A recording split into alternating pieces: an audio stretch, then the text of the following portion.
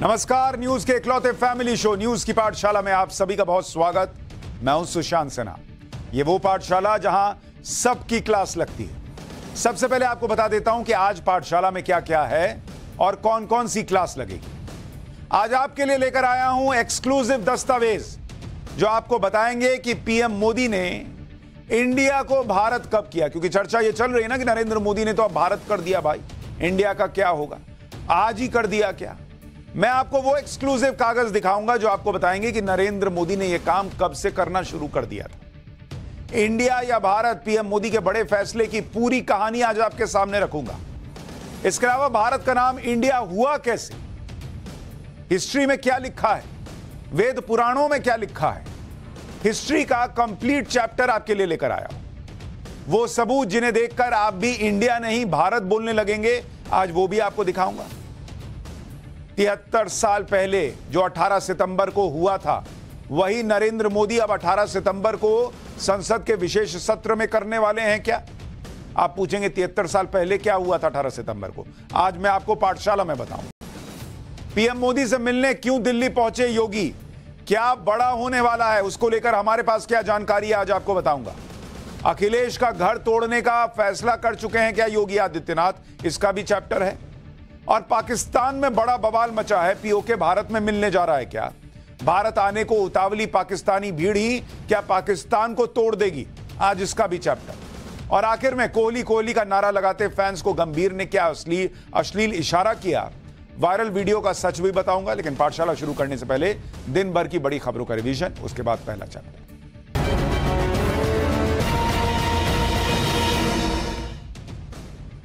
बिहार के मुख्यमंत्री नीतीश कुमार आज पटना यूनिवर्सिटी के एक कार्यक्रम के दौरान पैर फिसलने की वजह से गिर गए, जिसके बाद मौके पर मौजूद सुरक्षा कर्मियों ने उन्हें संभाला।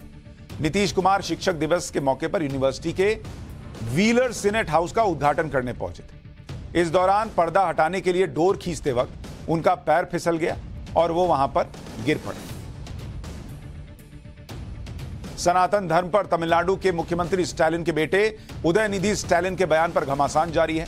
बयान के चौतरफा विरोध के बीच देश की दो सौ बासठ प्रतिष्ठित हस्तियों ने सुप्रीम कोर्ट के चीफ जस्टिस को चिट्ठी लिखी, जिसमें सुप्रीम कोर्ट से इस मामले में स्वतः संज्ञान लेने की गुजारिश की गई।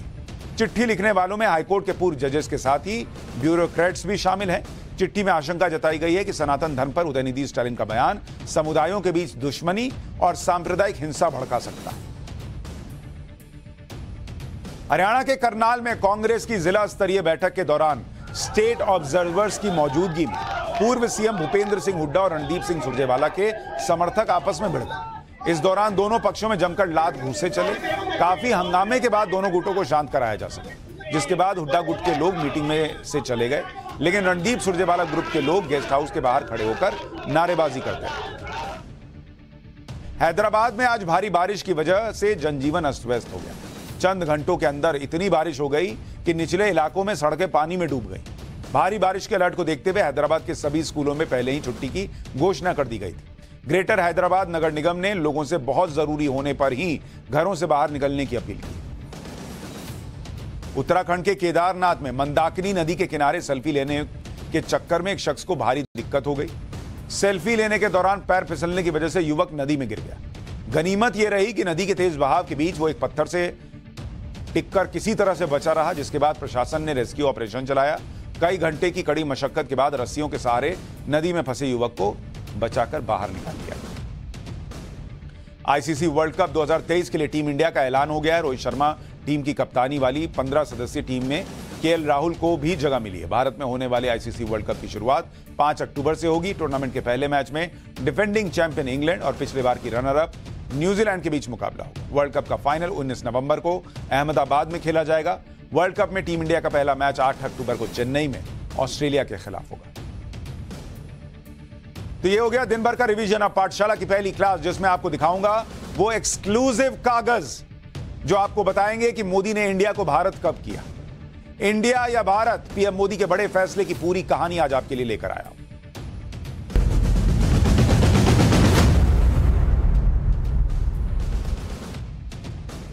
आज पूरे देश में यही चर्चा चल रही है कि क्या देश का नाम बदलने जा रहा है और क्या देश को अब इंडिया नहीं, सिर्फ़ और सिर्फ़ भारत ही कहा जाएगा? विपक्ष भी हड़बड़ा गया कि क्या नरेंद्र, प्रधानमंत्री नरेंद्र मोदी देश का नाम ही बदल देंगे? और अगर इंडिया की जगह सिर्फ़ भारत नाम ही बुलाया जाएगा तो फिर विपक्ष ने जो इंडिया गठबंधन बनाकर नरेंद्र मोदी को हराने का प्लान बनाया था, उससे तो विपक्ष के अरमानों पर पानी फिर जाएगा। लेकिन आज हम आपको बताएँगे कि कैसे प्रधानमंत्री नरेंद्र मोदी ने आज ही नहीं, पहले से ही इंडिया की जगह भारत शब्द का इस्तेमाल करना शुरू कर दिया जिसके बारे में किसी को पता भी नहीं था, क्योंकि नरेंद्र मोदी तो अपना काम करते हैं। तो वो डॉक्यूमेंट्स आज आपको दिखाऊँगा एक्सक्लूसिव डॉक्यूमेंट्स पाठशाला में, जो आपको बताएँगे कि भाई आज प्रेसिडेंट ने जो न्योता भेजा उसमें नहीं, उसके पहले से नरेंद्र मोदी ने क्या किया है? हमारे पास एक्सक्लूसिव डिटेल्स और एक्सक्लूसिव तस्वीरें हैं, जो ये दिखाती हैं कि इंडिया की जगह पर पीएम मोदी भारत नाम को इंटरनेशनल लेवल पर पहले से ही प्रमोट कर रहे हैं। ये तस्वीर तो आपने देखी होगी आज कई न्यूज़ चैनल पर। थोड़ी देर में मैं आपको वो एक्सक्लूसिव दस्तावेज़ दिखाऊँगा, जो किसी चैनल पर नहीं लेकिन आज जो नई चर्चा शुरू हुई, वो इसलिए हुई क्योंकि जी ट्वेंटी के डिनर के कुछ इन्विटेशन कार्ड आपके आए। इन इन्विटेशन कार्ड में प्रेसिडेंट ऑफ़ इंडिया की जगह पर प्रेसिडेंट ऑफ़ भारत लिखा है, जो आप तस्वीर में देख रहे हैं। इसके बाद से ही हर जगह कहा जाने लगा कि इंडिया को अब भारत ही कहा जाएगा क्या। इनविटेशन कार्ड में प्रेसिडेंट ऑफ़ भारत लिखे होने से यह भी बातें होने लगी कि संसद का जो विशेष सत्र होने जा रहा है, उसमें क्या यह प्रस्ताव आ सकता है कि भारत को अब सिर्फ़ भारत ही कहा जाएगा इंडिया कहा ही नहीं जाएगा? इन बातों में इसलिए भी दम दिखा क्योंकि सरकार के तमाम मंत्री और बीजेपी के लोग सोशल मीडिया पर जी ट्वेंटी के डिनर के लिए इन्विटेशन कार्ड जो आया, उसको तुरंत दिखाने लगे। इसे भारत के गर्व से जोड़ने लगे, जैसे केंद्रीय मंत्री धर्मेंद्र प्रधान ने इन्विटेशन कार्ड दिखाया। उसमें भी राष्ट्रपति द्रौपदी मुर्मू को प्रेसिडेंट ऑफ़ इंडिया की जगह प्रेसिडेंट ऑफ़ भारत लिखा था। इस पोस्ट के साथ ही धर्मेंद्र प्रधान ने हैशटैग किया हैशटैग प्रेसिडेंट ऑफ़ भारत। दूसरी तरफ़ भारत की जी ट्वेंटी प्रेसिडेंसी के लिए सोशल मीडिया पर नया हैंडल लॉन्च किया गया, जिसे जी ट्वेंटी भारत नाम दिया गया। यह विपक्ष के लिए टोटल सरप्राइज़ कर देने वाली स्थिति है, क्योंकि विपक्ष पहले से ही हैरान परेशान था कि भाई ये नरेंद्र मोदी ने विशेष सत्र किस लिए बुलाया? और विशेष सत्र में पीएम मोदी करने क्या वाले हैं, ये किसी को पता नहीं चल रहा था। विशेष सत्र को लेकर अलग अलग थ्योरीज चलाई जा रही थी। इस तरह के कई बिल आ सकते हैं। किसी ने कहा कि भाई, आपको याद होगा कि जो विशेष सत्र है, किसी ने कहा कि वन नेशन वन इलेक्शन वो ओ एन ओ ई आने वाला है।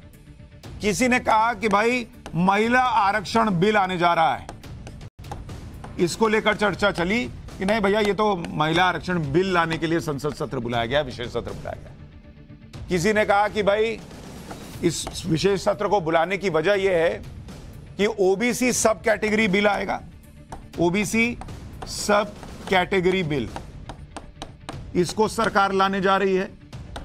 किसी ने कहा कि नहीं भाई, आप लोग कहाँ फंसे हैं? ये तो यूसीसी पर बिल आने जा रहा है, इसलिए सरकार ने विशेष सत्र बुलाया अब इन थ्योरी में नई थ्योरी जुड़ गई कि देश के नाम से इंडिया जो है, इसको हटाने का प्लान है क्या? और इसलिए विशेष सत्र अब बुलाया जा रहा है विपक्ष कैसे हैरान परेशान है? इसे आप देख भी लीजिए कि सबसे पहले कांग्रेस नेता जयराम रमेश ने ट्वीट कर सवाल उठाया। जयराम रमेश ने कहा कि राष्ट्रपति भवन ने 9 सितंबर को जी ट्वेंटी के डिनर के लिए जो न्योता भेजा है, उसमें प्रेसिडेंट ऑफ़ इंडिया की जगह, प्रेसिडेंट ऑफ़ भारत लिखा है। अब संविधान के आर्टिकल वन को इस तरह पढ़ा जाएगा, भारत जो कि इंडिया था, राज्यों का एक संघ है, लेकिन अब राज्यों का संघ भी निशाने पर है। नरेंद्र मोदी लगातार इतिहास से छेड़छाड़ कर रहे हैं और देश को बांट रहे हैं। कांग्रेस की तरफ से विपक्षी गठबंधन के बाकी नेता भी इसका विरोध करने लगे एक बार आप उनकी प्रतिक्रियाएं सुन लीजिए फिर मैं आपको वो एक्सक्लूसिव डॉक्यूमेंट्स दिखाता हूं জি টোয়েন্টির লাঞ্চে না ডিনারে তাতে লেখা আছে ভারত বলে আরে ভারত তোমরা বলি এতে নতুনত্ব কি আছে ইংরেজিতে বলি ইন্ডিয়া ইন্ডিয়ান কনস্টিটিউশন হিন্দিতে বলে ভারত কা সংবিধান अब इंडिया नाम लेने में भी कतरा रहे हैं। किस बात का डर है भाई? We are proud to be Indian हमें गर्व है कि हम भारत के लोग हैं। और आपको आज इंडिया का नाम लेने में जो है दिक्कत हो रहा है। कहाँ कहाँ से नाम हटाइएगा? कौन कौन पन्ने से नाम हटाइएगा? प्रधानमंत्री जी, विदेश जाइएगा तो आपको लोग यही बुलाएँगे कि प्राइम मिनिस्टर ऑफ़ इंडिया ये राष्ट्रपति भवन को त्याग करना चाहिए अभी इसी वक्त। क्योंकि वो जो राष्ट्रपति भवन, वो भाईसराय के हाउस थे। लॉर्ड अरविंद पहले इसका बासिंदा थे। माउंट बैटन और सारे अंग्रेज़ों की ये भाईसराय हाउस थे। आज़ादी के बाद ये प्रेसिडेंट हाउस हुई। तो पहले उसको त्याग करना चाहिए, नॉर्थ ब्लॉक, साउथ ब्लॉक को त्याग करना चाहिए। सब भारत बना दो, सब खाली करा दो पहले ही। और ज़रूरत पड़े तो गोला दागो और उड़ा दो। अगर इतना ही नफरत है इंडिया नाम से। कांग्रेस के लोग तो अलग ही लेवल पे जाते हैं और अधीर जी तो एकदम ही अलग। कह रहे हैं कि राष्ट्रपति भवन पे गोला दाग दो। उड़ा उड़ा दो राष्ट्रपति भवन, अगर अंग्रेज़ों की गुलामी की निशानी मिटा दे। अच्छा अभी नरेंद्र मोदी ने क्या किया, नहीं किया, उन्होंने कुछ कहा भी नहीं है। इंडिया क्या खत्म ही हो जाएगा, सिर्फ़ भारत रहेगा, कुछ नहीं बोला है अभी। लेकिन ये लोग एकदम, अरे, इंडिया हटा दिया, इंडिया हटा दिया, सब शुरू हो गए। कांग्रेस का हाल तो यह है कि इनके नेताओं को अब भारत माता की जय के नारों से भी दिक्कत होने लगी। आरोप है कि जयपुर में कांग्रेस के कार्यक्रम में जब भारत माता की जय के नारे लगे तो कांग्रेस पर्यवेक्षक को गुस्सा आ गया। उन्होंने कार्यकर्ताओं से भारत माता की जय के नारे नहीं लगाने के लिए कहा और यह कहा कि अगर नारा लगाने का शौक है तो कांग्रेस पार्टी के नारे लगाओ। सुनिए जरा।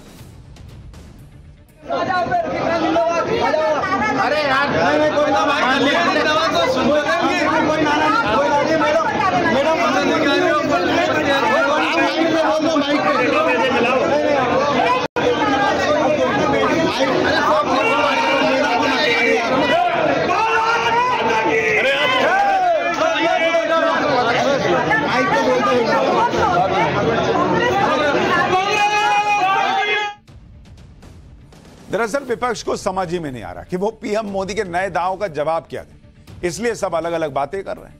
विपक्ष के वो नेता जिन्हें लोग देश विरोधी सोच वाला बताते रहे हैं, वो भी अब देश की एकता और विविधता की बातें करने लग गए भाई।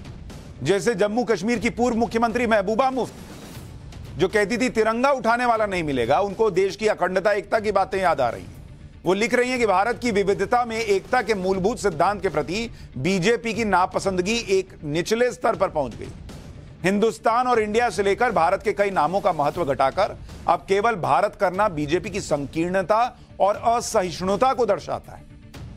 जिनको अपना झंडा चाहिए जम्मू कश्मीर के लिए, जिनको जम्मू कश्मीर के लिए अपना संविधान चाहिए, अलग से स्टेटस चाहिए, वो बता रहे हैं कि नए नए भारत में सब एक रहना चाहिए, इंडिया ही होना चाहिए। भारत की आज़ादी के बाद के इतिहास में पहली बार प्रचंड बहुमत वाली कोई पार्टी पूरे देश को अपनी जागीर समझ रही है। ये वो महबूबा मुफ्ती कह रही हैं, वो परिवार जम्मू कश्मीर के कह रहे हैं, जिन्होंने जम्मू कश्मीर को अपनी जागीर समझा। अपने परिवारों का विकास किया, जम्मू कश्मीर को छोड़ दिया। वहाँ के युवा पत्थर फेंकते रहे, इनके घर वाले क्या करते रहे, सबके सामने है। वो आज बता रहे हैं कि जागीर क्या होता है। आप खुद सोचिए, ये बातें वो महबूबा मुफ्ती कर रही हैं जो 370 हटाने पर कई बार देश विरोधी बयान दे चुकी जो ये धमकी दे चुकी हैं कि नहीं समझे तो मिट जाओगे हिंदुस्तान वालों। देखिए, विपक्षी नेता इसलिए भी गुस्से में है क्योंकि उनके गठबंधन का नाम इंडिया है। अगर नाम ही बदल दिया गया तो देश का आधिकारिक नाम भारत हो जाएगा। फिर धीरे धीरे इंडिया शब्द का इस्तेमाल कम हो जाएगा। अगर ऐसा हुआ तो विपक्षी दलों को बड़ा झटका लगेगा, क्योंकि विपक्षी गठबंधन ने सोची समझी रणनीति और सियासी फ़ायदे के लिए अपने गठबंधन का नाम इंडिया रखा। गठबंधन का इंडिया नाम रखकर विपक्षी नेता यह मैसेज देने लगे कि वही देश की आवाज़ है, वो ऐसा जताने लगे कि जैसे इंडिया गठबंधन का मतलब देश का नाम इंडिया हो। मुंबई की बैठक में तो विपक्ष ने नारा भी दिया कि जुड़ेगा भारत, जीतेगा इंडिया। जैसे उनकी जीत ही देश की जीत मानी जाए और उनकी हार में देश की हार झलके। यह सब विपक्ष की सोची समझी रणनीति थी। जिसके तहत देश के नाम पर अपने गठबंधन का नाम रखकर लोगों को कंफ्यूज किया जाए। और अब जब देश का नाम बदलने की बात हो रही है तो फिर इंडिया गठबंधन को परेशानी हो रही है। इसलिए विपक्ष अब यह माहौल बना रहा है कि पीएम मोदी उनके डर से देश का नाम बदलने वाले सुनिए आज इस पर अरविंद केजरीवाल ने क्या कहा। फिर मैं आपको बताता हूँ कि नरेंद्र मोदी ने इंडिया को भारत किया कब? एक्सक्लूसिव डॉक्यूमेंट्स क्या कहते हैं? ऐसा क्यों किया जा रहा है? ऐसा कहा जा रहा है, इसलिए किया जा रहा है क्योंकि इंडिया नाम का कई सारी पार्टियों का एक अलायंस बना है जिसका नाम इंडिया है। तो अगर किसी पार्टियों का अलायंस इंडिया बन जाता है तो वो देश का नाम बदल देंगे। देश तो 140 करोड़ लोगों का है, किसी एक पार्टी का देश थोड़ी है। कल मान लीजिए इस इंडिया अलायंस ने अपना नाम बदल के भारत रख लिया तो फिर भारत भी बदल देंगे। फिर क्या भारत का नाम बीजेपी रखेंगे? और बीजेपी को ये लग रहा है कि थोड़े बहुत चार वोट इनके कम हो जाएँगे इंडिया अलायंस बनने से। तो वोट कम हो जाएँगे, इसीलिए भारत का नाम बदल दो। वैसे तो केजरीवाल जी जो कह रहे हैं, उसमें लॉजिक कहीं से नज़र नहीं आ रहा। लेकिन वो बोलते बोलते ये भी बोल गए कि बीजेपी को लग रहा है कि इंडिया अलायंस बनने से इनके चार वोट कम हो जाएँगे। मतलब वो खुद ही मान रहे हैं कि इंडिया अलायंस बीजेपी के मात्र चार वोट काट सकता है। उससे ज़्यादा काट भी नहीं पाएगा। लेकिन मैं आपको अब सारी बातें बताता हूँ। वैसे आधिकारिक तौर पर महत्वपूर्ण मंच पर इंडिया की जगह भारत का इस्तेमाल किए जाने की बात आज की है ही नहीं। जैसे आज हो रहा ना कि भाई आज राष्ट्रपति ने इनविटेशन भेजा तो उसमें इंडिया की जगह प्रेसिडेंट ऑफ़ भारत कर दिया।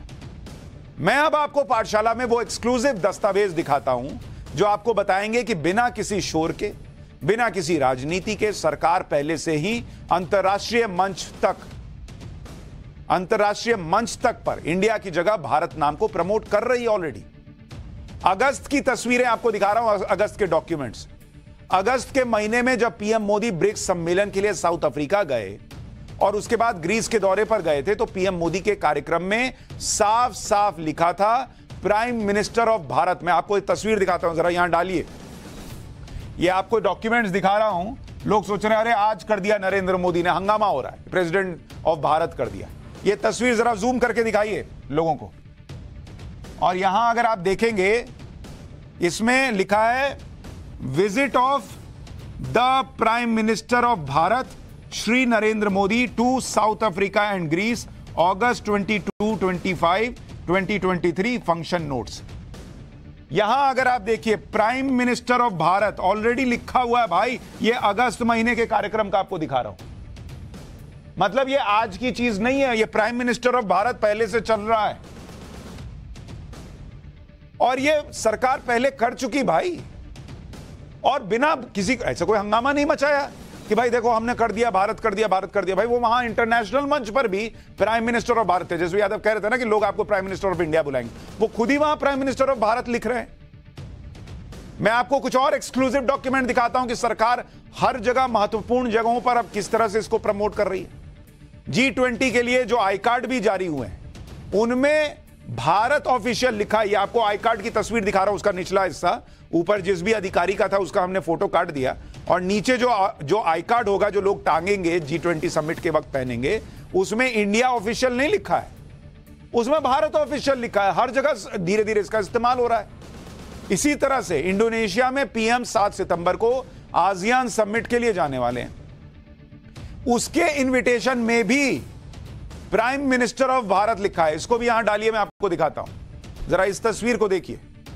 यहाँ भी अगर आप देखेंगे, और ये तो जो कार्यक्रम होने वाला है, उसके बारे में आपको बता रहा हूँ। Visit of the prime minister of Bharat Shri Narendra Modi to the republic of Indonesia twenty ASEAN India summit and eighteen E summit September seven twenty function notes यहाँ जूम करके दिखाइए क्या लिखा है? प्राइम मिनिस्टर ऑफ़ भारत लिखा है कि नहीं लिखा है? तो सरकार अपने कई कार्यक्रमों में अब भारत का इस्तेमाल कर रही है और अगस्त के महीने में भी कर रही थी। मतलब पहले से यह चल रहा था। लोगों ने हंगामा मचा दिया कि आज अचानक कर दिया। यह समझ में नहीं आ रहा कि विरोध किस बात का हो रहा है। क्योंकि आप देखिए कि संविधान में इंडिया और भारत दोनों लिखा है। संविधान के अनुच्छेद एक में कहा गया है कि इंडिया दैट इज़ भारत ये part one the union and its territory में name and territory of the union India that is Bharat shall be a union of states ये लिखा हुआ है। तो अगर इंडिया दैट इज़ भारत लिखा है मतलब इंडिया जो कि भारत है तो प्राइम मिनिस्टर ऑफ़ भारत क्यों नहीं हो सकता भाई? प्रेसिडेंट ऑफ़ भारत क्यों नहीं हो सकता भाई? जब संविधान में इंडिया और भारत दोनों का ज़िक्र है। संविधान की प्रस्तावना में लिखा है we the people of India और हिंदी में अगर संविधान को आप पढ़ेंगे तो वहाँ पर लिखा है, हम भारत के लोग। क्या वहाँ लिखा है, हम इंडिया के लोग? तो जब इंग्लिश में लिख रहे हैं तो वहाँ लिख रहे हैं we the people of India Hindi में लिख रहे हैं, भारत के लोग लिख रहे हैं तो इंडिया और भारत दोनों इस्तेमाल हो रहा है कि नहीं हो रहा है? तो विपक्ष को यह बात समझनी होगी कि देश के अंग्रेज़ी नाम को हटाकर उसे इंडिया किए जाने की बात पहली बार नहीं हो रही। यह भी समझिए।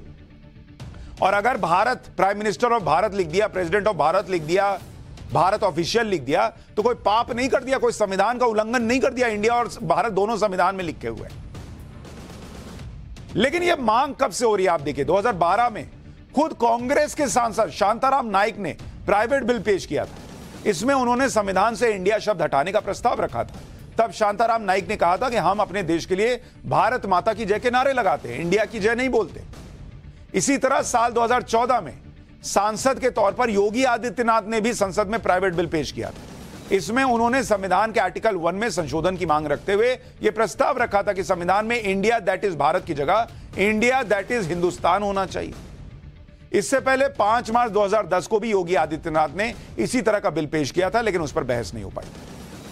हाल ही में जो मानसून सत्र हुआ, उसमें भी बीजेपी के राज्यसभा सांसद नरेश बंसल ने कहा था कि संविधान से इंडिया शब्द को हटा देना चाहिए क्योंकि यह गुलामी का प्रतीक है।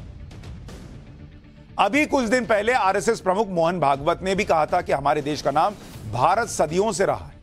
भाषा चाहे जो रही हो लेकिन देश का नाम एक ही रहा है इसलिए इंडिया नाम की जगह भारत का ही प्रयोग करना चाहिए। सुनिए भाव, मोहन भागवत ने कुछ दिन पहले क्या कहा। उसका नाम भारत है तो दुनिया में कहीं भी जाएगा तो भारत ही रहना चाहिए तो हम बोलने में लिखने में सर्वत्र भारत कहें किसी को समझ के ही नहीं आए चिंता न करें उसको ज़रूरत है तो समझ लेगा हमको ज़रूरत नहीं है सबको समझाने हम अपने आप में समर्थ है स्वतंत्र आज दुनिया को हमारी ज़रूरत है। बिना दुनिया हम चल सकते हैं, दुनिया हमारे बिना नहीं चल सकती। यानी अगर आप मोटे तौर पर देखेंगे तो दिक्कत भारत शब्द से नहीं है। दिक्कत यह है कि नरेंद्र मोदी ये क्यों कर रहे हैं, संघ ने कह दिया, फलाना ढिमकाना, ये सब दिक्कत है। क्योंकि जो मोदी कह दें, उसका तो विरोध करना है। कल वो मोदी कह देंगे कि सांस लेना अच्छी चीज़ है तो ये लोग सांस लेने का भी विरोध कर देंगे। ये सब नाक रोक सांस रोक के बैठ जाओ भाई। मोदी जी ने कह दिया, सांस लेनी अच्छी चीज़। इंडिया शब्द को लेकर कई लोगों के अंदर यह सोच है कि यह शब्द गुलामी की मानसिकता का प्रतीक है, क्योंकि यह नाम विदेशियों का दिया हुआ नाम बीजेपी के एक सांसद हरनाथ यादव ने तो यह दावा कर दिया कि भारतीयों को अंग्रेज़ जाहिल मानते थे, इसलिए वो अपशब्द के तौर पर इंडिया और इंडियन शब्द का इस्तेमाल करते थे। एक बार बीजेपी सांसद को सुनिए। सारा देश ये चाहता है, तमाम कोनों से ये मांग आ रही है? देश के लोगों को भारत शब्द बोलना चाहिए। इंडिया शब्द एक अंग्रेज़ों के द्वारा दी हुई हमारे लिए गाली है। इसलिए इंडिया शब्द जाना चाहिए। भारत शब्द जो है हमारी सांस्कृतिक पृष्ठभूमि का एक प्रतीक है। इंडिया शब्द और भारत नाम का क्या इतिहास है? आज मैं आपको यह भी बताने वाला लेकिन उससे पहले एक सच यह भी है कि देश का नाम बदलने की मांग बहुत पुरानी है। और यह बात सुप्रीम कोर्ट तक जा चुकी है। मार्च 2016 में सुप्रीम कोर्ट ने देश का नाम इंडिया की जगह सिर्फ़ भारत रखने की मांग वाली याचिका को खारिज कर दिया था। उस समय तत्कालीन chief justice T S Thakur ने कहा था, भारत और इंडिया, आप भारत बुलाना चाहते हैं। भारत बुलाइए, अगर कोई इंडिया कहना चाहता है तो उसे इंडिया कहने दीजिए। चार साल बाद जून 2020 में फिर से सुप्रीम कोर्ट में ऐसी ही याचिका दायर हुई। सुप्रीम कोर्ट ने इस याचिका को भी खारिज कर दिया। तब तीन सदस्यीय बेंच ने इस याचिका को केंद्र के पास भेज दिया था। और इस पर फैसला लेने को कहा था। मतलब केंद्र चाहे तो फैसला ले सकता है। और अगर भारत का प्राइम मिनिस्टर हो या इंडिया का प्राइम मिनिस्टर हो, दोनों में कोई दिक्कत नहीं, क्योंकि इंडिया और भारत दोनों का ज़िक्र है संविधान में। लेकिन नरेंद्र मोदी चाह रहे हैं कि भारत का प्रचलन बढ़े, भारत का इस्तेमाल बढ़े। सरकारी कार्यक्रमों में दूसरी जगह बस हो गया विरोध शुरू। देश के नाम को सिर्फ़ भारत रखने की अटकलों के बीच सूत्रों से खबर यह भी है कि मोदी सरकार संसद के विशेष सत्र में इससे जुड़ा एक प्रस्ताव ला सकती है। केंद्रीय मंत्री के बयानों से भी संकेत मिल रहे हैं कि सरकार इस पर प्रस्ताव ला सकती है। हालाँकि नाम बदलने के लिए संविधान में संशोधन किया जाना पड़ेगा। या नहीं किया जाना पड़ेगा यह अभी साफ़ नहीं है। एक बार केंद्रीय मंत्रियों को सुनिए, उनके बयानों से कुछ संकेत मिल रहे हैं। फिर आपको आगे इसके बारे में बताता ये बहुत पहले होना चाहिए था। ये मन को बहुत संतोष देने वाला सूचना है। भारत हमारी परिचय है। इसको लेके हम गर्वित है। हम कहते हैं, गर्व से कहो, हम भारतीय है। तो भारत के नाम को राष्ट्रपति जी ने प्रायोरिटी में ले आया। देश सुन के, इसके लिए बहुत खुश होगा। ये मेरा पूरा विश्वास है।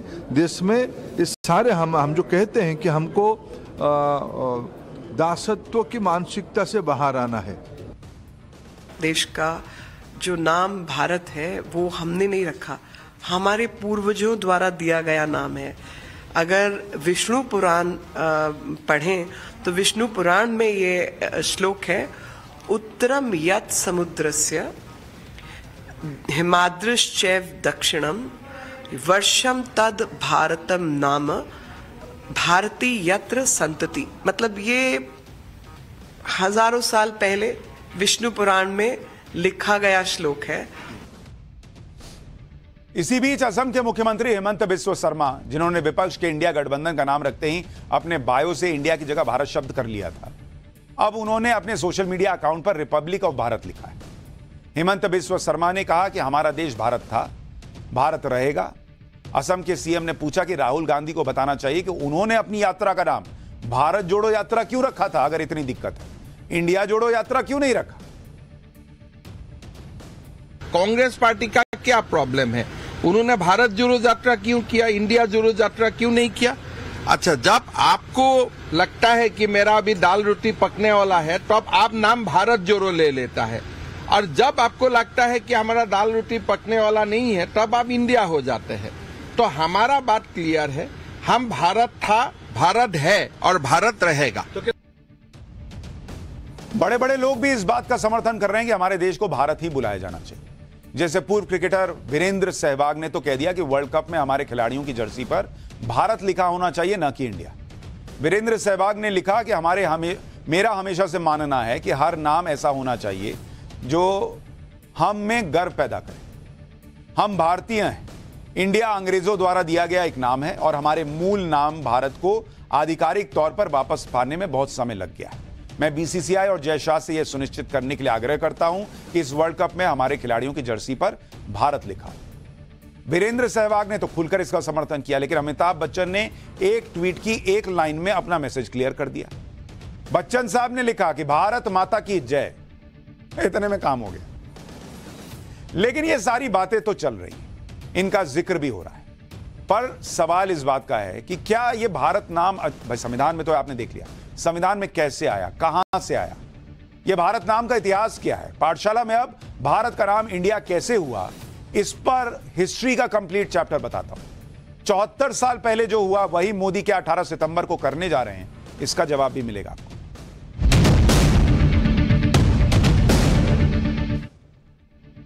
अंग्रेज़ों के भारत आने से पहले कोई भी इंडिया नाम के शब्द को जानता तक नहीं था।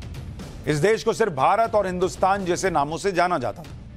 अंग्रेज़ों के आने से पहले हमारे इतिहास और पौराणिक ग्रंथों में सिर्फ़ भारत, भरत शब्द का उल्लेख मिलता है। भरत, पौराणिक युग में भरत नाम के कई व्यक्ति भी हुए, जैसे दशरथ पुत्र भरत, शकुंतला पुत्र भरत भरत मुनि, राजश्री भरत और मगधराज इंद्रद्युमन के दरबार में भी एक भरत ऋषि थे। आज आपको पौराणिक साक्ष्यों की मदद से बताता हूँ कि भारत का नाम भारत कैसे पड़ा। इसे लेकर हमारे शास्त्रों में क्या कहानियाँ मिलती हैं? दरअसल, पौराणिक युग की मान्यता के अनुसार, महाभारत में हस्तिनापुर के महाराजा दुष्यंत और शकुंतला के पुत्र भरत के नाम पर ही देश का नाम भारत रखा हमारे सिलेबस की कई किताबों में यही कहानी पढ़ाई जाती है। आज से 1600 साल पहले, महाकवि कालिदास के महाकाव्य अभिज्ञान शकुंतलम में भी भारत शब्द का पूरा उल्लेख मिलता है। इसके अलावा सबसे प्रचलित मान्यता के अनुसार दशरथ पुत्र और श्रीराम के छोटे भाई भारत के नाम पर भी इस देश का नाम भारत मिलने का प्रसंग मिलता है। जैन परंपरा में भी भारत के नाम के साक्ष्य मौजूद हैं।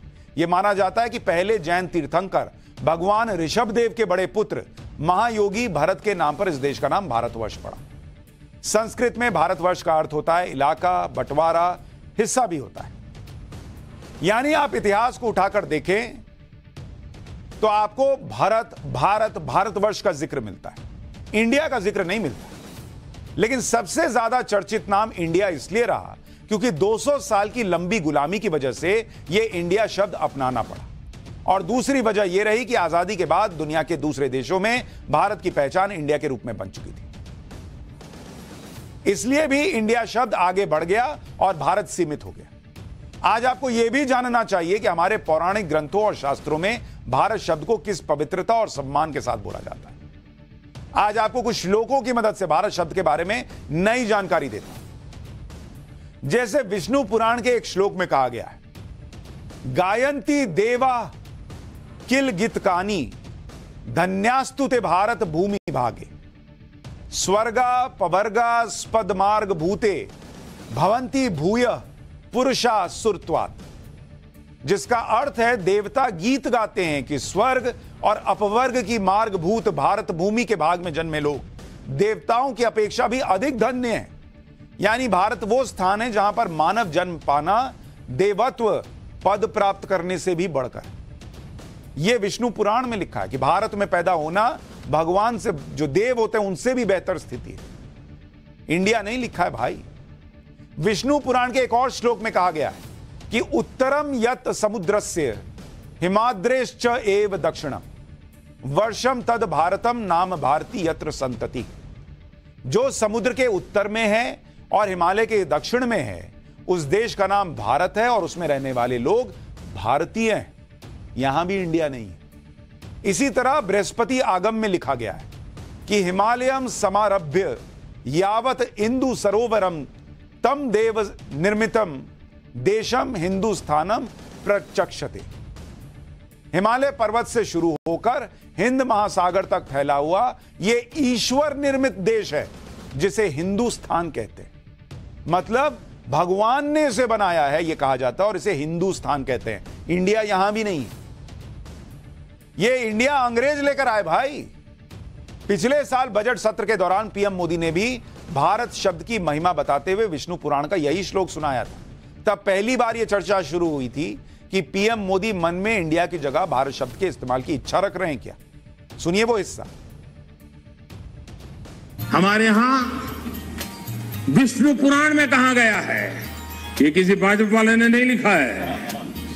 विष्णु पुराण में कहा गया है, उत्तरम यत समुद्रस्य हिमाद्रश्च दक्षिणम, वर्ष तद भारतम नाम। भारतीय यत्र संतति। ही यानी समुद्र के उत्तर में और हिमालय के दक्षिण में जो देश है, उसे भारत कहते हैं तथा उनकी संतानों को भारती कहते हैं। लेकिन जो लोग सनातन को ही मिटाने की बातें कर रहे हो वो क्या विष्णु पुराण समझेंगे? वो क्या पुरानी बातों को समझेंगे? प्राचीन काल में भारत भूमि के अलग अलग नाम भी रहे और उनमें से एक भी नाम इंडिया नहीं था। आज आपको भारत के कुछ और नाम बताता हूँ जिन्हें आप इंडिया के दौर में भूल गए होंगे। और इन नामों में अगर आप गौर करेंगे, कहीं भी आपको इंडिया नहीं मिलेगा। जैसे आपने सुना होगा, जम्बू द्वीप यह भी इस्तेमाल होता है भारत के लिए। भारत खंड यह भी इस्तेमाल होता है। इसके अलावा अगर आप देखेंगे, हिमवर्ष कई जगहों पर इसका ज़िक्र मिलता है। अजनाब वर्ष यह भी पुराणों में दूसरी जगहों पर इसका ज़िक्र मिलता है। भारतवर्ष का ज़िक्र मिलता है। भारतवर्ष इसके अलावा आर्यावर्त, इसका ज़िक्र मिलता है। हिंद का ज़िक्र मिलता है और इसके साथ साथ हिंदुस्तान का ज़िक्र मिलता है। लेकिन किसका ज़िक्र नहीं मिलता, वो है इंडिया। अगर आपने ध्यान दिया होगा कि इनमें से बहुत सारे नाम आपने पूजा पाठ के दौरान सुने होंगे। पूजा करवाने के दौरान पंडित जी आपसे आपका नाम और गोत्र का नाम बुलवाते हैं। इसी समय एक श्लोक भी बोला जाता है, जिसमें जम्बू द्वीपे भरत खंडे आर्यावर्त, देशांतर्गते बोला जाता है। इसके बाद ही किसी का नाम और गोत्र का नाम का उच्चारण करवाया जाता है। इन शब्दों के माध्यम से यह बताया जाता है कि आपका स्थान क्या है, आप कहाँ के निवासी हैं। आसान और सरल भाषा में कहूँ तो आपका एड्रेस बताया जाता है। इसमें कहीं इंडिया नहीं आता। अंग्रेज़ों के आने से पहले देश की पहचान भारत और हिंदुस्तान जैसे नामों से ही थी। लेकिन धीरे धीरे अंग्रेज़ी संस्कृति का दबाव और आज़ादी के बाद अंतर्राष्ट्रीय स्तर पर भारत की पहचान इंडिया के रूप में स्थापित होती चली लेकिन ऐसा पहली बार नहीं है जब देश में इंडिया की जगह सिर्फ़ भारत के इस्तेमाल के लिए माहौल बन रहा है। 1947 के बाद भी संविधान सभा में इस बदलाव की कोशिश की गई थी। अब आप देखिए 1947 में आज़ादी के बाद भारत का संविधान बनाने के लिए संविधान सभा बनाई गई। संविधान सभा ने जब मसौदा तैयार किया तो इस पर देश के नाम को लेकर तीखी बहस हुई उस दौरान। यह बहस 17 और 18 सितंबर को हुई। आप डेट देख रहे हैं। नरेंद्र मोदी ने संसद का विशेष सत्र कब बुलाया? 18 सितंबर। उन्नीस सौ उनचास में जो बहस हुई नाम को लेकर, वो भी कब हुई? 17 और 18 सितंबर को। बहस की शुरुआत संविधान सभा के सदस्य एच वी कामत ने की उन्होंने अंबेडकर समिति के उस मसौदे पर आपत्ति जताई, जिसमें देश के दो नाम थे, इंडिया और भारत। कामत ने अनुच्छेद एक में संशोधन का प्रस्ताव रखा। अनुच्छेद एक के मुताबिक इंडिया, दैट इज़ भारत माना गया है। कामत ने प्रस्ताव दिया कि देश का एक ही नाम होना चाहिए और उन्होंने हिंदुस्तान, हिंद, भारत भूमि और भारतवर्ष जैसे नाम सुझाए। नाम को लेकर आपत्ति जताने वालों में कामत अकेला नाम नहीं थे। कांग्रेस के नेता और पूर्व स्वतंत्रता सेनानी सेठ गोविंद दास ने भी इसका विरोध किया। उन्होंने कहा कि इंडिया यानी भारत किसी देश के नाम के लिए अच्छा शब्द नहीं है। भारत को विदेशों में इंडिया के नाम से भी जाना जाता है। सेठ गोविंद दास ने संविधान सभा की बहस के दौरान यह कहा कि पुराणों से लेकर महाभारत तक भारत का ज़िक्र किया गया। इसके अलावा चीनी यात्री हुएन सांग के लेखों का हवाला भी दिया गया कि देश का मूल नाम तो भारत ही है। इस बहस के दौरान महात्मा गांधी का ज़िक्र करते हुए कहा गया कि पूरे देश ने आज़ादी की लड़ाई किस नारे से लड़ी? भारत माता की जय के नारे से लड़ी। इंडिया की जय के किनारे थोड़ी लग रहे थे। इसलिए देश का नाम भारत ही होना चाहिए। बहस के दौरान आंध्र प्रदेश से संविधान सभा के सदस्य केवी राव ने भी दो नाम पर आपत्ति जताई। उन्होंने तो यह तक सुझाव दिया कि चूँकि सिंध नदी पाकिस्तान में, इसलिए इसका नाम हिंदुस्तान होना चाहिए। कमलापति त्रिपाठी और हर गोविंद और हरगोविंद पंत जैसे बड़े नेताओं ने भी देश का नाम सिर्फ़ भारत ही रखे जाने का समर्थन किया। उस दिन इस बात को लेकर कमलापति त्रिपाठी और डॉक्टर बी आर अंबेडकर के बीच तीखी तीखी बहस भी हुई। त्रिपाठी ने कहा था कि देश हज़ारों साल तक गुलामी में था। अब इस आज़ाद देश को अपना नाम फिर से हासिल होना चाहिए। तभी अंबेडकर ने उन्हें टोकते हुए कह दिया कि क्या यह सब ज़रूरी है? हालाँकि यह सारी बहस का कुछ खास नतीजा निकला नहीं, और जब संशोधन के लिए वोटिंग हुई तो ये सारे प्रस्ताव गिर गए। और आखिर में अनुच्छेद एक ही बरकरार रहा, और उसे अनुच्छेद एक में इंडिया दैट इज़ भारत बना रहा, यानी इंडिया और भारत। आप प्राइम मिनिस्टर ऑफ़ इंडिया भी हो सकते हैं, आप प्राइम मिनिस्टर ऑफ़ भारत भी हो सकते हैं। लेकिन चूँकि नरेंद्र मोदी ने प्राइम मिनिस्टर ऑफ़ भारत कह दिया प्रेसिडेंट ऑफ़ भारत कह दिया तो लग गई आग। जो अब तक चला आ रहा है, इसलिए हम गवर्नमेंट ऑफ़ इंडिया और भारत सरकार दोनों लिखते हैं भाई। 18 सितंबर उन्नीस सौ उनचास को देश का नाम इंडिया की जगह भारत को लेकर तीखी बहस हुई थी। अब ठीक चौहत्तर साल बाद एक बार यह चर्चा फिर शुरू हो सकती है कि 18 सितंबर 2023 को मोदी सरकार क्या इसे लेकर प्रस्ताव आ सकती है। अगर ऐसा हुआ तो इस बार भी संसद में जोरदार बहस होगी और यह तारीख 18 सितंबर एक बार फिर दोहराई जाएगी। पूरे देश में इस बात की चर्चा चल रही है कि क्या मोदी सरकार इंडिया की जगह भारत का नाम सिर्फ़ भारत रखने का प्रस्ताव लाएगी या संविधान में बदलाव करके इसे पूरी तरह भारत कर देगी? अगर ऐसा हुआ तो मोदी सरकार को एक लंबी प्रोसेस से गुजरना होगा। इसे भी समझिए। संविधान का अनुच्छेद एक कहता है कि इंडिया दैट इज़ भारत, यानी अनुच्छेद एक में इंडिया और भारत दोनों को मान्यता है। अब अगर केंद्र सरकार देश का नाम सिर्फ़ भारत करना चाहेगी तो उसे अनुच्छेद एक में संशोधन करने के लिए बिल लाना होगा। इसके लिए अनुच्छेद तीन यानी संविधान को संशोधन में करने संविधान में संशोधन करने की अनुमति देता है। लेकिन अनुच्छेद एक में संशोधन करने के लिए केंद्र सरकार को कम से कम दो तिहाई बहुमत की ज़रूरत हो। संविधान में कुछ संशोधन साधारण बहुमत, यानी 50 परसेंट के वोट से हो सकते हैं। लेकिन कई संशोधन के लिए कम से कम दो तिहाई सदस्यों के समर्थन की ज़रूरत पड़ती है। अगर मोदी सरकार देश का नाम भारत करना चाहती है तो इस बदलाव के लिए संसद का गणित भी आपको समझा देता हूँ। लोकसभा में पाँच सदस्य हैं। दो तिहाई के लिए नरेंद्र मोदी सरकार को तीन सौ छप्पन सांसद चाहिए होंगे। राज्यसभा में दो सौ अड़तीस हैं। वहाँ दो तिहाई के लिए एक सौ सत्तावन सांसद चाहिए होंगे। यानी सिर्फ़ इस तरह से हो जाए कि नाम बदल जाए यह भी नहीं हो सकता। और बहुत हद तक संभव है कि धीरे धीरे ये नाम जो है, वो सरकारी व्यवस्था में ज़्यादा इस्तेमाल हो, इंडिया खत्म ना हो जाए एकदम से, बल्कि भारत का इस्तेमाल बढ़े, इसको लेकर भी प्रस्ताव आ सकता है। आज पूरे देश में इस बात की भी चर्चा है कि जब पीएम नरेंद्र मोदी पिछले नौ सालों में गुलामी की कई निशानियाँ हटा चुके तो उन्हें इस बार भी यह ऐतिहासिक काम कर ही देना चाहिए। पिछले कुछ साल में पीएम मोदी ने गुलामी की कई निशानियाँ मिटाई जैसे, पहले दिल्ली में राजपथ था, लेकिन अब कर्तव्य पथ है। पहले रेस कोर्स रोड था, अब लोक कल्याण मार्ग है। पहले नेवी के झंडे में सेंट जॉर्ज क्रॉस था, अब नेवी के झंडे में सत्यमेव जयते। पहले जहाँ किंग जॉर्ज फिफ्थ की मूर्ति थी, वहाँ अब सुभाष चंद्र बोस की मूर्ति। पीएम मोदी की मज़बूत इच्छा शक्ति पर पूरे देश को भरोसा है। लेकिन तब तक आपको 18 सितंबर का इंतज़ार करना होगा कि पीएम मोदी क्या फैसला लेते हैं। क्या वो भारत का इस्तेमाल बढ़े? लोग भारत ज़्यादा इस्तेमाल करें, इसका, इसको व्यवहार में ज़्यादा लाएँ, ये चाहते हैं? या वो इंडिया, दैट इज़ भारत में से इंडिया को ही हटा देना चाहते हैं और सिर्फ़ भारत रहे, ये चाहते हैं। ये भी जल्द साफ़ हो जाएगा। लेकिन एक चीज़ अभी और साफ़ होनी बाकी कि प्रधानमंत्री नरेंद्र मोदी और यूपी के मुख्यमंत्री योगी आदित्यनाथ की आज की मुलाकात में हुआ क्या? मोदी योगी की मीटिंग से यूपी में क्या बड़ा होने वाला है? अब इसी का चल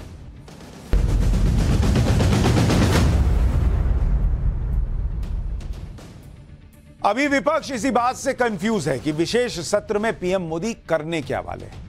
विपक्ष को समझ में नहीं आ रहा कि क्या होने वाला है। इसी बीच पीएम मोदी की एक मीटिंग ने विपक्ष की धड़कने और बढ़ा दी। पीएम मोदी की यह मीटिंग यूपी के सीएम योगी आदित्यनाथ के साथ हुई। और यह मीटिंग तब हो रही है जब आज ही यूपी में घोसी सीट पर उपचुनाव के लिए वोटिंग और इस घोसी की सीट के बारे में हम आपको पहले ही पाठशाला में बता चुके हैं कि इंडिया गठबंधन को नरेंद्र मोदी से मुकाबला करने से पहले योगी से यहाँ भिड़ना होगा, यहाँ जीतकर दिखाना होगा। और यह भिड़ंत घोसी सीट पर हो गई। घोसी सीट का नतीजा अब आठ सितंबर को आएगा। लेकिन इससे पहले पीएम मोदी और सीएम योगी की मुलाकात से सस्पेंस बढ़ गया कि अचानक योगी आदित्यनाथ दिल्ली आकर पीएम से मिले क्यों? ऐसा क्या हुआ कि योगी अचानक पीएम से मिलने के लिए दिल्ली आ गए?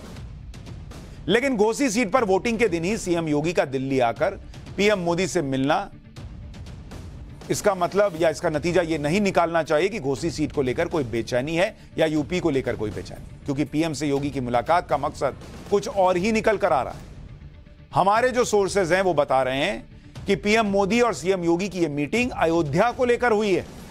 सूत्रों के मुताबिक, पीएम के साथ मीटिंग में मुख्यमंत्री योगी आदित्यनाथ के साथ यूपी के शहरी विकास मंत्री ए के शर्मा, अयोध्या के डीएम नीतीश कुमार और कमिश्नर गौरव दयाल भी मौजूद थे। अयोध्या के कमिश्नर गौरव दयाल और डीएम नीतीश कुमार ने सीएम योगी के साथ मौजूद रहकर बैठक में राम मंदिर निर्माण की प्रगति की जानकारी दी। इस मीटिंग में अयोध्या में प्रस्तावित श्री राम संग्रहालय को लेकर भी प्रेजेंटेशन दिया गया है यह बताया जा रहा है। जिस संग्रहालय में भगवान राम के जीवन काल से जुड़ी जानकारियाँ देने वाली वस्तुएँ रखी गई इसके अलावा इस बैठक में अयोध्या के विजन डॉक्यूमेंट 2047 को लेकर भी चर्चा की गई है, जिसमें अयोध्या का डेवलपमेंट करके इसे वर्ल्ड क्लास शहर बनाने का प्लान इस बैठक में अयोध्या में केंद्र सरकार के सहयोग से संचालित तीस हज़ार करोड़ से ज़्यादा की परियोजनाओं की प्रगति के बारे में भी जानकारी दी जाएगी। यानी अब लोगों के मन में प्रश्न यह भी होगा कि अचानक नरेंद्र मोदी और योगी आदित्यनाथ मिल रहे हैं। अयोध्या पर प्रेजेंटेशन हो रहा है। अयोध्या पर जानकारी दी जा रही है। क्या जो अटकलें लग रही हैं कि चुनाव पहले हो सकता है, क्या यह भी उसकी तरफ़ इशारा करता है क्या? क्या अगर नवंबर दिसंबर के एंड में चुनाव हुए, तब तक अयोध्या राम मंदिर की स्थिति में होगा। क्या उसके पहले बनकर तैयार होगा? क्या इसको लेकर इसलिए चर्चा हो रही है क्या? अभी सब कयास है, लेकिन कयास चल रहे हैं। आज ही राम मंदिर निर्माण की लेटेस्ट तस्वीर भी आ गई। इसमें मंदिर की नींव बन जाने के बाद ग्राउंड फ्लोर का निर्माण होते हुए दिख रहा है। इस निर्माण कार्य से मंदिर धीरे धीरे आकार लेखता अब नज़र आ रहा है। भव्य राम मंदिर का पहला गुंबद भी लगभग तैयार हो गया है। रंग मंडप पर गुंबद को कारीगर अंतिम रूप दे रहे हैं। चार अन्य गुंबद और एक शिखर बनाने का काम तेज़ी से चल रहा है और जल्दी ही उसे पूरा कर लिया जाएगा कहा जा रहा है। मंदिर का 60 परसेंट काम पूरा कर लिया गया है यह कहा जा रहा है। और माना जा रहा है कि दिसंबर तक राम मंदिर का निर्माण कार्य पूरा हो जाएगा और जनवरी में प्राण प्रतिष्ठा का कार्यक्रम होगा, जिसमें प्रधानमंत्री नरेंद्र मोदी खुद जाएँगे। और आज जो मीटिंग हुई है, उसमें राम मंदिर के निर्माण कार्य की प्रगति को लेकर समीक्षा हुई। और आप यकीन मानिए कि इस समीक्षा के बाद अर्ली इलेक्शंस, पहले चुनाव होने को लेकर गहमा गहमी और बढ़ जाएगी। लेकिन यूपी में योगी का प्लान है कि इस बार विपक्ष का पूरी तरह से सफाया कर दें और 80 में से ज़्यादा से ज़्यादा सीट जीत लें। और योगी को इस बात का भरोसा इसलिए है क्योंकि उन्होंने दो बड़े मुद्दों पर डिलीवर किया है। योगी का जो विश्वास है, वो कहाँ से आ रहा है?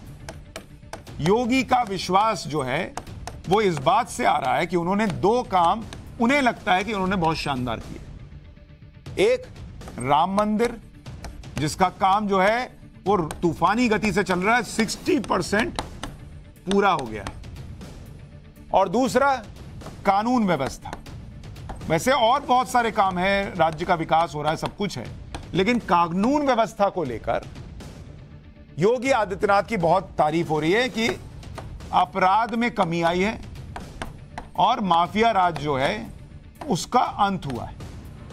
तो ये दो ऐसे काम हैं जो योगी में कॉन्फिडेंस भर रहे हैं कि भाई वो जो है इंडिया गठबंधन अगर यूपी में आएगा नरेंद्र मोदी को रोकने के लिए तो वो कर नहीं पाएगा। आपको सुनवाता हूँ, अभी घोसी में चुनाव प्रचार के लिए योगी आदित्यनाथ गए थे तो उन्होंने माफिया राज के खात्मे के बारे में फिर से क्या बताया था? जैसे ही प्रधानमंत्री मोदी जी के आह्वान पर उनके नेतृत्व में उत्तर प्रदेश में सरकार बनी भारतीय जनता पार्टी नेतृत्व की। ये जो माफिया सुबह लहराते थे, आज व्हील चेयर पर अपनी जान की भीख मांगते हुए दिखाई देते हैं। अब किसी गरीब का, किसी किसान का, किसी व्यापारी की ज़मीन पर कोई कब्जा करने का दुस्साहस नहीं कर सकता है। क्योंकि अगर कब्जा करेगा तो? बुलडोजर भी तैयार बैठा है। इंडिया गठबंधन की सबसे बड़ी टेंशन यूपी है क्योंकि यहाँ पर योगी इतने मज़बूत हैं कि दूर दूर तक कोई दिखता नहीं। इंडिया गठबंधन इसी बात से परेशान है कि यूपी के किले में कैसे जगह बनाई जाए क्योंकि यूपी की जी, को जीते बिना दिल्ली की कुर्सी पर बैठना बहुत मुश्किल है। राजनीति में कहा भी जाता है कि दिल्ली का रास्ता तो यूपी से होकर जाता है लेकिन इस रास्ते पर योगी खड़े हैं। और विपक्ष के लिए सबसे बड़ा ब्रेकर भी योगी ही बने हुए हैं। इंडिया गठबंधन का टेस्ट तो यूपी में शुरू भी हो चुका है। जिन सात सीटों पर आज उपचुनाव की वोटिंग हुई, उसमें से एक सीट यूपी की घोसी भी जिन राज्यों में आज उपचुनाव के लिए वोटिंग हुई, उन सभी में इंडिया गठबंधन का टेस्ट होना है। जैसे अगर आप देखेंगे कि कहाँ कहाँ पर ये सीटें हैं तो एक तो यूपी हो गया, जहाँ पर एक सीट जो उपचुनाव हुए हैं, जो घोसी की सीट है, और इनके नतीजे आठ तारीख को आ भी जाएँगे। उत्तराखंड यूके जिसको कहते हैं, वहाँ पर एक सीट है, झारखंड में एक सीट है, बंगाल में एक सीट है, एक सीट, त्रिपुरा में दो सीट है, दो सीट आती है, और केरल में एक सीट। तो ये जो सीटें हैं यहाँ पर चुनाव हुआ है। एक, दो, तीन, चार, दो, छह, एक, सात। सात सीट है टोटल। और इनमें सब में इंडिया गठबंधन क्या कर पाएगा उसको लेकर थोड़ी बहुत जानकारी मिल जाएगी। इसमें केरल और बंगाल दो ऐसे राज्य हैं जहाँ पर इंडिया गठबंधन की पार्टियाँ एक दूसरे से फाइट कर रही हैं। इंडिया गठबंधन मुंबई में मीटिंग से यह माहौल बनाने में जुटा था कि गठबंधन एकजुट है। उनके बीच में कोई टकराव नहीं और सब मिलकर बीजेपी के खिलाफ साझा उम्मीदवार उतारे लेकिन सच यह है कि गठबंधन के बीच सीट शेयरिंग का कोई फॉर्मूला अब तक बन नहीं पाया। सीट शेयरिंग तय करने की कोई डेडलाइन भी नहीं दी गई। कहा जा रहा है कि सीट शेयरिंग की डेडलाइन न होने की वजह से ही ममता बनर्जी मुंबई मीटिंग में नाराज़ हो गई और इसीलिए वो प्रेस कॉन्फ्रेंस में भी नहीं दिखी। अब सूत्र यह बता रहे हैं कि कम से कम चार राज्यों में सीट शेयरिंग का कोई बड़ा फॉर्मूला भी बनता हुआ नहीं दिख रहा है। कहा जा रहा है कि बंगाल, जहाँ पर अगर आप देखेंगे कि जहाँ पर बात नहीं बनी इंडिया गठबंधन की। वो चार राज्य अगर आप देखेंगे, एक है बंगाल, यहाँ पर कह रहे हैं कि भाई सीट शेयरिंग नहीं होगी। भाई लेफ़्ट तो पहले ही कह दिया था जब वो बेंगलुरु में डिनर हो रहा था कि नहीं हम नहीं लड़ेंगे ममता के साथ मिलकर। यहाँ पर 42 सीट आती है 42 सीट। इसके अलावा आप केरल देख लीजिए, वहाँ पर मिलकर लड़ने की बात नहीं बन पा रही है सोर्सेस कह रहे हैं। वहाँ पर 20 सीट आती है लोकसभा की। पंजाब में पहले ही मैंने आपको बताया था कि पंजाब कांग्रेस के जो नेता हैं, वो तो कह रहे हैं कि भाई इनका मुँह नहीं देखना चाहते। वहाँ पर तेरह सीट आती है लोकसभा की। और दिल्ली यहाँ को भी लेकर स्थिति स्पष्ट नहीं है। तो ये यहाँ पर सात सीट है लोकसभा की। यानी अगर आप इन चार को ही मिला दीजिए तो 82 सीट बनती है। अब ये नरेंद्र मोदी को हराने निकले हैं। और बयासी सीट पे तो इनका गठबंधन ही जो है, उसके अंदर ही खेल होना तय हो गया है। लेकिन इंडिया गठबंधन की सबसे बड़ी टेंशन इस वक्त यह है कि विशेष सत्र में मोदी करेंगे क्या? इसलिए वो अपना सारा एजेंडा भूलकर इस पर मीटिंग कर रहे हैं कि विशेष सत्र में क्या रणनीति हो। आज कांग्रेस अध्यक्ष मल्लिकार्जुन खड़गे के साथ इंडिया गठबंधन के सांसदों की मीटिंग हुई। इसमें विशेष सत्र की रणनीति पर चर्चा हुई है। विशेष सत्र 18 सितंबर से 22 सितंबर तक होना है और विपक्ष इस पर कंफ्यूज है क्योंकि विशेष सत्र का एजेंडा क्या होगा यह अभी तक सस्पेंस बना हुआ आप तस्वीर देखिए। ये तस्वीरें आई हैं जब मल्लिकार्जुन खड़गे के घर पर विपक्ष के इंडिया गठबंधन के नेता बैठकर चर्चा कर रहे हैं कि मोदी जी क्या करने वाले हैं। तुमको पता है तुमको पता है ये हुआ तो क्या करें? ये सब चल रहा है वहाँ। लेकिन यूपी में अलग खेल चल रहा है। अगर ये बात मान भी लें कि विपक्ष देश के बाकी हिस्सों में गठबंधन करके बढ़त बना ले तो यहाँ यह ध्यान हो, रखना होगा कि सबसे कमज़ोर अगर विपक्ष किसी राज्य में है तो वो है उत्तर प्रदेश। वहाँ विपक्ष अगर कुछ नहीं कर पाएगा तो समझिए कि 2024 में उसके लिए कोई चांस ही नहीं। क्योंकि बयासी सीट पे तो गठबंधन हो नहीं रहा। यूपी की 80 सीट पर आप कुछ कर नहीं पाएँगे। तो 160 162 सीट तो ऐसे ही चली गई। यूपी में योगी आदित्यनाथ से विपक्ष को भिड़ना होगा, जो आसान नहीं है। योगी आदित्यनाथ की लोकप्रियता का अंदाज़ा इसी बात से लगाइए कि आज ट्विटर की एक रिपोर्ट आई है, जिसमें यह बताया गया कि पिछले 30 दिन में पीएम मोदी के बाद सबसे ज़्यादा फॉलोअर किसी के अगर बढ़े हैं तो वो योगी आदित्यनाथ के फॉलोअर बढ़े। 30 दिन में पीएम मोदी के छह लाख बत्तीस हज़ार फॉलोअर बढ़े और उसके बाद नाम सीएम योगी आदित्यनाथ का है, जिनके दो लाख सड़सठ हज़ार फॉलोअर बढ़े। ऊपर से खबरें यह भी चल रही हैं कि योगी आदित्यनाथ पूरा प्रयास कर रहे हैं कि शिवपाल यादव उनकी तरफ़ आ जाए। मतलब अखिलेश यादव के घर में ही तोड़फोड़ मचाने का भी प्रयास अंदर अंदर चल रहा है, ये बातें कही जा रही कई बार तो वो विधानसभा में ही बोल चुके कि, चचू, आप कहाँ बैठे हो? उधर इधर आओ। इस टाइप से। तो इंडिया गठबंधन टूटेगा या उसके पहले जो साथी है उनका घर टूटेगा, ये तो वक्त बता देगा।